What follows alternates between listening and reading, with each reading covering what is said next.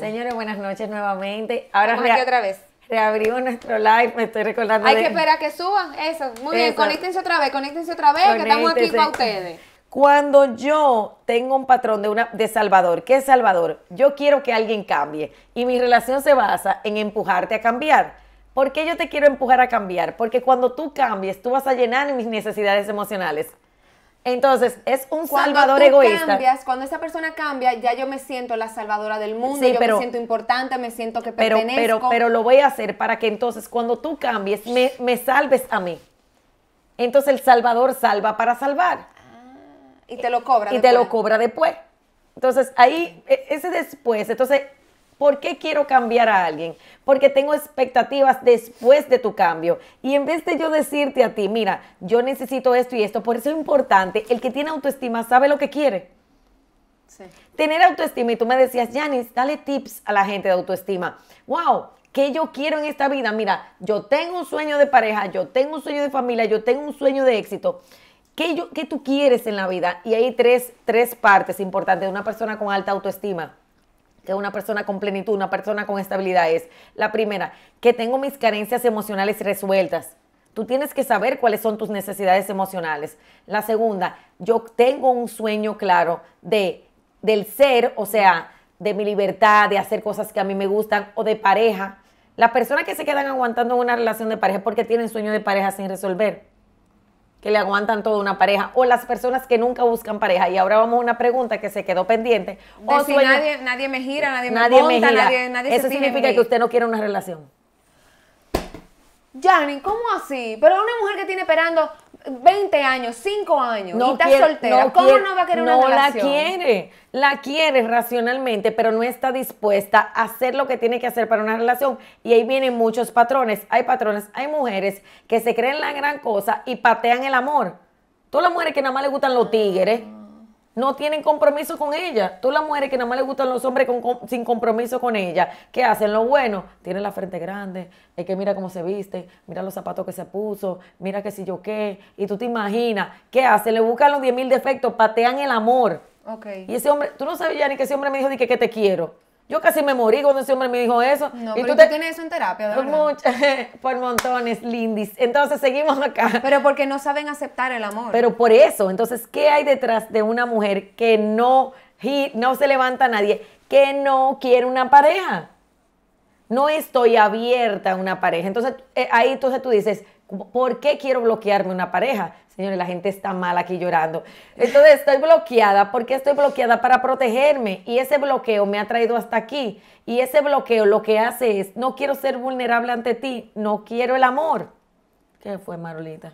que tú das la madre, vieja. Entonces, eh, o sea, que tú... Eso es verdad. Claro, mamá. Eso lo hago yo. Claro, linda. o sea. exacto, entonces están ahí. Entonces, voy al siguiente, que es, eh, mi pareja no, no tiene un excelente trabajo, yo tengo un mejor trabajo, entonces me cuida a los niños. Ahí podemos, eh, lo he hecho a través de crear un proyecto de emprendimiento y que no haya abuso, porque muchas veces cuando el hombre no está trabajando, desarrolla mucha ira de su propio eh, fracaso. Entonces, cuando ese hombre logra un pequeño emprendimiento o logran hacer cosas juntos, entonces empieza a desarrollarse mejor la pareja. Entonces, es ver cómo yo estoy ahí, Aun- aunque hay personas, mujeres, que les conviene que sus hombres no crezcan. Para ella sentirse más grande. No, y, y para pensar que, para sentir que no la van a abandonar. Hay mujeres que se buscan hombres menos que ellas porque ellas se sienten menos. Exacto, porque son un espejo. Entonces, si él se siente menos, no, no logra el éxito, la mujer no- la- otras mujeres no se van a fijar en ella, en él, él no me va a pegar cuerno, él va a estar aquí, entonces es como lo un te- círculo de manipulación. Exacto, lo tengo atrapado. Sigue leyendo Hermana, las mire, preguntas. yo he aprendido mucho. Estamos en esto. Sigue leyendo las preguntas y Marola, Ok. vamos. ¿Verdad? Que tú estás cieguita de nada. Vamos a ver, Un matrimonio de 25 años donde la Wow. mujer ha aguantado de todo, bueno, sin golpes, díganme, niñas. Ok, mira, qué bueno. Mira, eh, 25 años, realmente ya tienes un tema de alta tolerancia al dolor. Entonces, ¿qué es lo que necesitamos trabajarte en ese momento? Empezar a ver qué quieres, qué quieres en este momento, qué quieres para ti y sobre todo empezar a ver las consecuencias a nivel de tus hijos, las consecuencias a nivel de ti y empezar a establecer qué yo quiero como proyecto de vida y si se puede realmente. Eh, cuesta poner los límites, pero los límites no tienen edad ni tiempo. Ok. Vamos a ver, Manuela. Soy madre soltera de un bebé y terminé con el padre de mi hijo hace más de dos años. Se me hace muy difícil conseguir pareja. Es que necesitamos como más datos, ¿verdad? Ok, exacto. Me está diciendo que si los hombres pueden ir a los talleres, sí, lo que la gente no Sí. puede hacer. Si los hombres pueden ir a los talleres, lo que. Pero no yo en pareja, Pero no en no en pareja. pareja. Tenemos un tema. Yo luego, señores, para año 2019 vamos a hacer proyecto de vida de pareja. Talía Alberti, ¿cómo superas la, insegur- la inseguridad en pareja? Ok. Wow, buenísima pregunta. La inseguridad en pareja se, se supera no aplastándonos, no criticándonos, pero cuando yo empiezo a estar segura de mí misma, se empieza de una forma individual y de una forma en conjunto. Las personas, no hay, no hay persona que daña más la autoestima que el que es crítico con el otro. Tú sabes que la gente muy crítica, tú no la aguantas, Manuela. Claro, porque está todo el tiempo ahí con, con- en la yugular. En la yugular, entonces, Tú esa- hiciste todo mal, tú hiciste tal cosa mal. que ven solo lo que falta. Entonces, hay una parte tuya que ya detesta a esa persona que tú no la quieres ni ver. Entonces, Sí. vamos a ver. Mira, esto es muy importante. Eh, mi problema es que mi esposo no me ayude en mis metas. Ok, tu esposo no te tiene que ayudar en tus metas. ¿Qué? No, él puede apoyarte. No, o sea, Señores, acuérdense que yo estoy aquí como ustedes aprendiendo, o sea, yo no soy una verduga, yo le puedo dar las cositas que yo he aprendido, pero esta tipa, ¿cómo que mi esposo no me puede ayudar en mis No te tiene que. No me tiene que. No. No. supone que el esposo di que el sueño dorado es que mi esposo me Ah, apoye, no, pero me tú, ayude. tú estás ya con la princesa que vamos a ir a ver. Claro, mi amor, yo tengo Disney ha dañado esta cabeza porque yo lo que todo el tiempo he esperado es un príncipe azul que venga en un carruaje. Gracias. Pero como yo soy una bestia alfa, yo le doy un trompón al príncipe azul, cojo el caballo y me voy yo y resuelvo yo. Claro, entonces Eso es lo que me ha pasado va- toda va- la vida. vamos para allá, vamos a mejorar. Pero Entonces, explícame por favor cómo que el esposo no puede, no tiene que no, no, no, no, no, mira, muchas veces lo que Ay, estoy ya. esperando es que alguien me aplaude, que entonces yo me voy a hacer responsable de las metas. Cuando muchas veces la mujer es la que empieza a crecer, yo inspiro al otro a través de mis logros, pero no de trujarle mi logro, de mis logros y decirle, tú me tienes que ayudar. La imposición daña el proyecto de pareja. Pero, ok, eso yo lo Voy allá, entiendo. pero si es, vamos a suponer, yo, esa muchacha quiere poner un salón de belleza. Y su esposo, que comparten los gastos, le dice, no, tú no vas a poner ningún salón Pero de eso belleza. no es no apoyar, él no se lo está rechazando, ella lo que quiere es involucrarlo, que la apoyen obligatoriamente. Y él puede decidir no apoyarla porque en este momento él no puede apoyarla o no desea apoyarla y a ella le toca salir adelante ella. Ella puede poner su salón de belleza Ella con o sin él. Sin ira. Ahora, la pregunta es ¿por qué él no te apoya? Porque vamos a suponer, porque eso no, no te puedo apoyar porque eso gasta mucho cuarto. Entonces, Entonces, yo eh, no quiero que tú, yo no quiero que tú dejes de trabajar, yo quiero que tú dejes de trabajar y te quedes en la Sí, casa. pero ahí hay dos temas. Entonces, Ahí hay dos ahí hay, do- hay dos posiciones. Una posición es yo te voy a maltratar. Si hay maltrato, hay que resolverlo. Pero nadie te tiene que apoyar. Entonces, cuando una persona habla así, el hombre lo que está sintiendo es una imposición. Y a través de una imposición no vamos para ningún lugar. Eso es profundo. Entonces, que tú tengas una meta y un sueño Espérate, y que tú tengas ahí espérate. un, un hombre que diga, ay, no, no me importa espérate, eso". pero y porque el hombre en ese momento no cree en ti, tú vas a dejarlo. Entonces está en ti conquistar ese hombre para que cree en ti. ¿Y por qué no está de él creer en mí para yo seguir mi meta? ¿Por qué que yo Porque tengo que ir a posiblemente, porque posiblemente tú has sido una fracasada la vida entera. Janis, pero tú, o sea, los- enfermeras, psicólogas, jompear al hombre. Si no, si es un mijijato, ayudarlo. O sea, todo el tiempo tiene que ser la mujer yendo donde el hombre a resolverle su problema de aquí. No, pero tampoco podemos esperar Perdón, señores, que eso me quilla. Exacto, pero tampoco podemos esperar demasiado. Entonces, cuando estamos esperando demasiado, nos estamos volviendo una dependiente emocional. Entonces, hay que entender por qué cada caso es ver el porqué de mi situación y cómo ella está participando. Entonces, ok, ¿por qué tú no me apoyas en mis metas? Hay una conversación responsable. ¿Por qué tú no te sientes parte de? Muchas veces quiero que tú estés en mi meta, pero en ese momento, por ejemplo, hay un hombre que es muy básico, muy proveedor, que no es de muchas ideas nuevas creativas. Entonces está en ti tú salir adelante, pero esa parte es tuya de inspirar al otro. La gente, y tú sabes que se ve en los talleres, la gente dice, Janis, y yo quiero traer a mi esposa. Señores, la gente que va al taller es porque el otro vio un cambio tan grande en ti que te dice, mira, yo quiero hacer lo que tú estás haciendo. La gente que va al, gimna- al gimnasio empieza a correr, tú tienes un tema de peso y la gente dice, mira, yo quiero hacer lo que tú estás haciendo, porque tú lo inspiraste. Entonces, a través de la imposición no ganamos nada. Yo entiendo eso perfectamente, pero pero la entiendo a ella, que Está ella bien. tiene un sueño, tiene Marola, una meta, Marola, y hay que estar jompeando a un hombre. Marola, no, tú no tienes que jompear a nadie. Señores, Cero oye, señor. Yo estoy, exacto. cansa- que estoy cansada de jompear, entonces, no Yanni. yom- entonces no yompee, porque hay que yompear. Tú estás yompeando para que te yompeen a ti después, no yompee. Coge la vida fácil. Yompéate tú. Ok, Y través- misma mi, yompéame. mía- mi misma. Entonces tú vas a encontrar a alguien a tu lado que, Que va- ya viene yompeado. Sí, no, que te va a... eso es. Eso es. Pero no llegan yompeados, Sí, mamita, no, con todo lo cable y la batería de cargar. Porque no te está jompeando. Ok, seguimos. Entonces, seguimos aquí, señores. Vamos, van. Yo voy a dejar este live porque es que esto es No, ya no- nos quedan dos preguntas para, para nosotros dejarle el live abierto. Vamos a ver. Ok, vamos a seguir, vamos a seguir. En el, caso de mi- de- en el caso de que mi pareja sea buena, hombre ideal, por llamarlo así, siento que lo amo, pero no puedo dar todo de mí.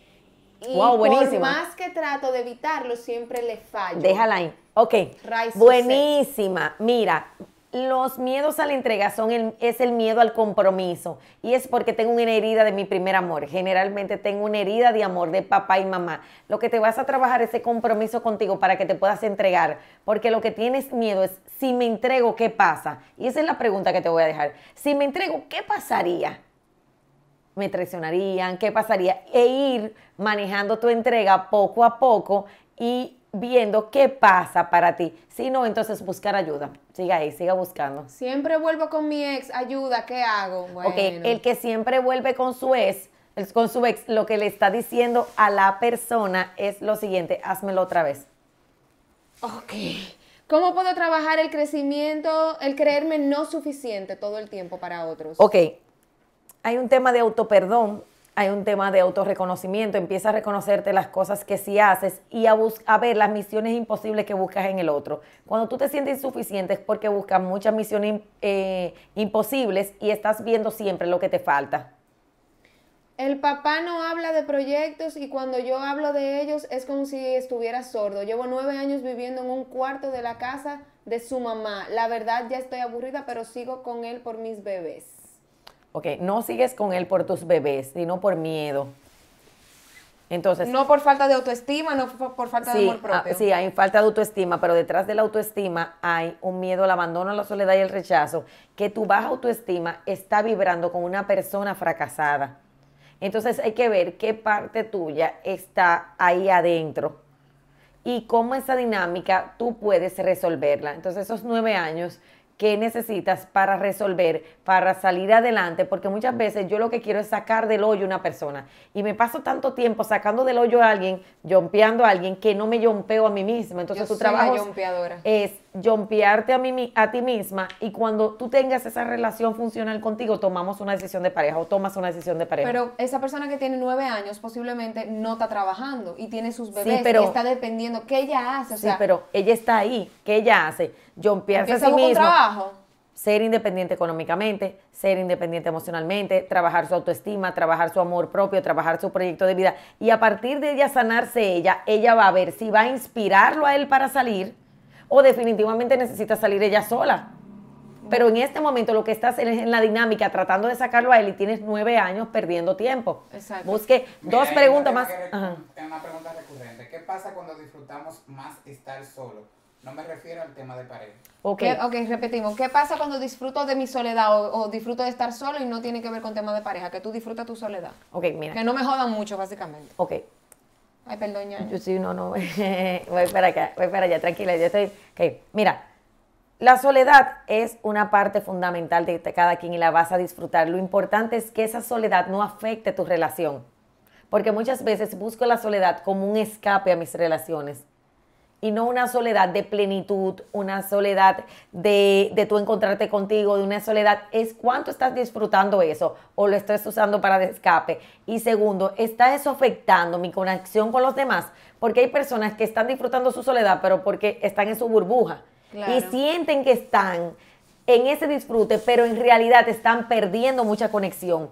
Y dentro de esa soledad ni siquiera están conectados con sí mismos, sino que es un escape, es una evasión. Y la, la gente que está más ligada a estar solo está depresiva. Muchas veces encuentra depresión. Ok. Muchas veces encuentra tristeza, pero muchas veces tiene mucha ira. Hay mucho pasivo agresivo también ahí. ¿Cómo manejo el miedo al abandono y al rechazo y el autosabotaje? Ok, wow, tres. Ay. tres. Ay. Cojan ahora piña ahí. cojan. Cojan, que yo la cogí. Yo la cogí porque yo me autosaboteo. Cojan piña ahí. Bueno, el miedo al abandono se maneja a través del compromiso conmigo mismo. Las personas que le tienen miedo al abandono o abandonan la relación an- cuando se va a dar, o abandonan antes que lo abandonen, o se quedan ahí a como de lugar en un tema de apego. No importa lo que sea, voy a hacer lo que sea para que no me abandones. Tengo, te- estoy saliendo con el pana, ya casi se está dando que tenemos amor y cuando se va a dar yo digo, ay, ay no. Ay, no, abandono, entonces corro. Abandono. O me quedo en esa relación esperando, esas personas que permiten constantemente esa relación, la on and off, la que termina y vuelve, termina y vuelve. Entonces me quedo ahí porque tengo miedo a, que, a perderte. Entonces las personas con miedo al abandono tienen que trabajar el que estar expuesto a la pérdida. Tienen que atreverse a merecer perder una relación y aquí voy y tienen que trabajar el compromiso consigo mismas. Cuando yo trabajo el compromiso conmigo misma, no voy a someterme a una relación donde no hay compromiso, donde hay pérdida, porque yo estoy dispuesta a todo para no perderme a mí misma. O Entonces, sea, me expongo al miedo a lo Ah, que yo tanto le tengo miedo. exacto, si le tengo me- miedo al rechazo, me expongo al me rechazo. expongo al rechazo. ¿Cómo? Eso. ¿Cómo yo por me expongo ejemplo, al rechazo? eh, tú te expones al rechazo cuando tú estás públicamente, tú te expones al rechazo, tú te expones al rechazo cuando tú sales a buscar un trabajo, cuando tú sales a pedir lo que tú quieres, tú te expones al rechazo. Tú te expones al rechazo cuando tú pides para ti, por ejemplo, las personas que no saben pedir. Eh, otra, que persona, otro que preguntó, otra que preguntó sobre el autosabotaje. El autosabotaje es la situación inconsciente a través de la cual saboteo mi éxito. Hay muchas formas de sabotearme. Donde yo, en la primera eliminación del autosabotaje es saber cómo yo lo hago. Lo segundo es validar qué estoy ganando por hacerlo. Hay muchos beneficios por posponer, muchos beneficios por la dependencia emocional, muchos beneficios por las adicciones. Porque, ¿qué me da el autosabotaje? La capacidad de quedarme en mi zona de comodidad, la capacidad de autodestruirme, la capacidad de que de volver a mi niñez, de no crecer. Entonces, me, me deja en una posición muy cómoda de cero valentía. Una última pregunta para que... Marola, hay una Dígame. que dice, Ah, qué bueno. ¿qué pasa si el chico me pidió amores, iniciamos la relación, pero no me habla mucho ni le gusta venir mucho a mi casa? No, mi amor, pero él te lo está diciendo todo. O sea, si no te habla mucho, si no tiene comunicación contigo, y te- y- y- ¿verdad? Y tienen amores, o sea, tú no eres su primer lugar, tú no eres su prioridad. ¿Qué te dijo? El contrato que él quiere contigo. ¡Qué perris! tú tranquila, tú tranquila, que estamos en el desahogo. es que yo muy perris, soy muy perris. El contrato, de verdad, ese es un contrato. Eso es un contrato. Él te está mandando su contrato. ¿Cuál es el contrato? Tú eres la de a veces. Señores, hay personas que dicen, me escribió por WhatsApp. ¡Wow! ¡Wow! Dios mío. me puso muchos likes. Señores, ni los likes están en relación, ni te escribió por WhatsApp. Entonces, hay niveles de una relación, sí, cuando se están conociendo en un proceso de la conquista, de leros, de esto que lo otro. Pero cuando tú, una persona que quiere una relación contigo, da los pasos a esa relación. Tú sabes que muchas relaciones se estancan, porque como yo tengo una baja autoestima y no me merezco una relación, no doy el siguiente paso de compromiso, pero tampoco te lo pido a ti. Y aquí voy a dejar una pregunta para todo el mundo. ¿Quién es una persona con autoestima, una persona interesante de conversar? Una persona que tiene logros, una persona que se siente orgullosa de ti, una persona que está dispuesta a poner los límites, una persona que verdaderamente puede ver las fortalezas en el otro. Eso es amarse. Claro. Amarse es alguien que, que tú te cuidas, te cuidas, que te cuidas físicamente, te cuidas emocionalmente, cuidas lo que piensas.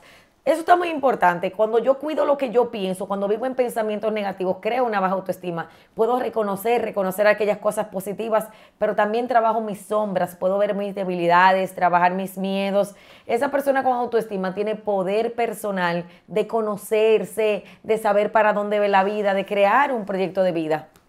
Señores, Eh, yo creo que podemos, porque ya... Yo quiero que de verdad todo el que ha escrito, ay, me pasa eso, ay, yo soy, yo soy un desastre, de verdad que no se sienta por favor, no. mal. Somos personas en crecimiento. ¿Quién es en crecimiento? Estamos Somos... en reparación y en crecimiento. Y esto- La misma Janice, aunque sea terapeuta, y, y yo que lidero Me una pa- campaña de empoderamiento, estoy aquí porque necesito que No, me no- empoderen en no- este momento. Yo me paso toda la vida en eso, ahora voy a hacer, la- voy a donde Tony Robbins, voy a hacer lo de biodescodificación. Ah, tengo, tengo mi taller digital, señores, voy a la plataforma digital. Eh, tengo el taller el 31 de julio, pueden acceder a través de la plataforma, eh, se llama Sanando la Relación con Mamá. Señores, no dejen de hacer eso, Exacto. por favor, porque Dos- ya ustedes oyeron que mamá tiene una incidencia Dos, bastante grande en su lo chulo que tiene la plataforma digital es que tú lo puedes hacer desde la comodidad de tu casa, te inscribes, pagas, solo son 1.500 pesos por persona, es dos horas de taller, vas a recibir los ejercicios y es muy privado. Lo chulo que tiene es que es totalmente privado, tiene una sección de preguntas y respuestas ¿Qué es lo importante también cuando estamos en crecimiento? Psicoeducarnos y trabajar. Que de todo lo que tú aprendiste hoy, tú apliques una, una sola cosa. Exacto. Y que eso también tú quieras enseñar a alguien. Cuando la verdad es que le doy muchas gracias a Dios por Marola, porque tiene una comunidad hermosísima. Yo estoy muy comprometida con estas influenciadoras que quieren ahora influenciar de manera positiva, influenciar desde su proyecto, desde nuestra, o sea, desde ser ordinaria, ser mujer ordinaria, crear ese proceso extraordinario de vida es a través de esfuerzo, de sacrificio, pero sobre todo de que ganemos plenitud, ganemos felicidad y que esas cosas que verdaderamente tú tienes las valores y que agradezcamos a Dios la vida que hoy tenemos eh, la, y ese y lo trauma. más importante, que crezcamos juntos. O sea, aquí nadie está pretendiendo ser Para nada. macho man. O sea, ustedes saben que yo tengo un proceso de duelo que me estoy levantando. O sea, Yo estoy en mi crecimiento yo- todo, el mundo tiempo. está en crecimiento todo y en tiempo. sanidad. Pero tú sabes que, por ejemplo, para mí, uno de mis crecimientos es ir al concierto. Bueno, ahora voy al concierto de Ozuna. Entonces, cuando tú... ¿Por qué? Porque pues, tú, tú le rechazabas a la gente. No, no, O que sea, ir a grupos. el tema de concierto y disfrute, como no lo viví, entonces es algo que me costaba y la verdad es que me lo disfruto y la verdad es que cada quien tiene un proceso en su vida. Qué bueno, el crecimiento es para toda la vida, es una filosofía que, que, que premia mucho y que premia a lo largo de tu vida, de tus relaciones, de lo que está alrededor de ti. Entonces, gracias señores, porque aquí nos van a ahorcar. Ya lo último, un, un tip para empezar a amarte ahora mismo, sea, en Un- este instante, un tip, ahora. Ahora, un tip. Ahora, primero valor- valida tus necesidades emocionales. Segundo, enfócate qué yo quiero. Y en qué yo quiero, ahí vienen varias partes importantes. ¿Cuáles sueños tengo? Porque he perdido y he perdido el permiso de soñar muchas veces. ¿Qué sueño tengo? Otro tip importante, soy feliz. Soy feliz en mi trabajo, sí o no. Es una, soy feliz en mi pareja, sí o no. Soy feliz conmigo, sí o no. Y ese termómetro de la felicidad, hay un proceso para trabajar y todo se trabaja en la vida. Y el tip más importante es lo que se llama la voluntad y la decisión. Para crecer se necesita decisión y compromiso. Cuando crezco, entonces voy a ver ese proceso. Enfócate en el proceso difícil. Toma el camino difícil porque tiene bellezas. Entonces no puedes tomar las rosas, sino toma las espinas, pero te aseguro que va a ser maravilloso para ti. Después de una relación tóxica sale lo mejor de ti. Después del trauma sale la fortaleza. Toda- Después de la después de la depresión depresión, de ti. entonces detrás del miedo está tu éxito. Señores, yo no sé qué más ustedes quieren. Nos vemos en otro live la semana que viene o después. Un Señores, beso. se los prometemos el mes que viene, porque no se lo puedo prometer es- esta Sí, semana, sí, sino sí, para nuestro... hacemos una vez al mes? Sí, lo vamos a hacer una vez al mes, prometido, señores. Ok. Bye bye, guarden todo. Bye donde Janice y vayan yo me amo. Bye bye. Bye.